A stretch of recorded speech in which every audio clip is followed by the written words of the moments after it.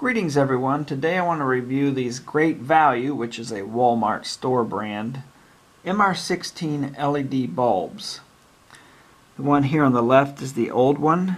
The one on the right is the current version that I bought as of January 2020.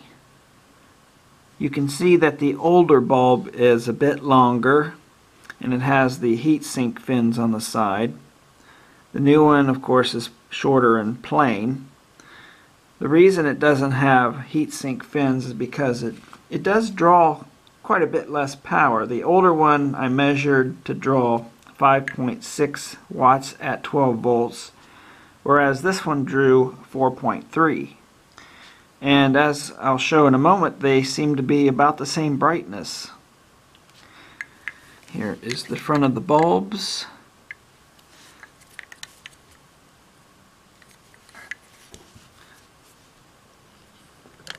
Here is the packaging. Packaging is quite similar, aside from minor differences. If I didn't say so, they come three to a pack. See the lighting info is the same.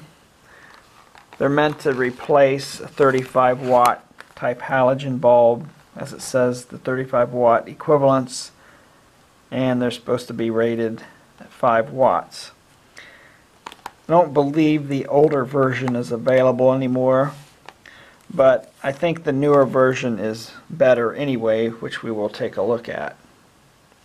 As far as pricing goes for the three pack, they're all over the shop. They seem to vary in price. When I go into the stores, they're at different prices.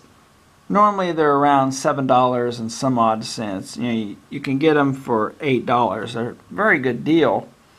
But I bought these, they were only $2.94, which is amazing. I didn't see anything about a sale, but that's what they rang up as. Okay, I pointed the camera over at my fake Monet on the wall there. And uh, we'll take a look at the light, the light quality. It has a nice floody characteristic. It's probably like a 30 degree beam, I would say. These are warm white, 3000 Kelvin. Very nice light. I like it quite a bit. Now let's see if I can compare this to the old one. I don't know how the camera's going to show it. But here's the new one versus the old one. New, old. I don't know if the camera shows it, but the older one is slightly warmer white.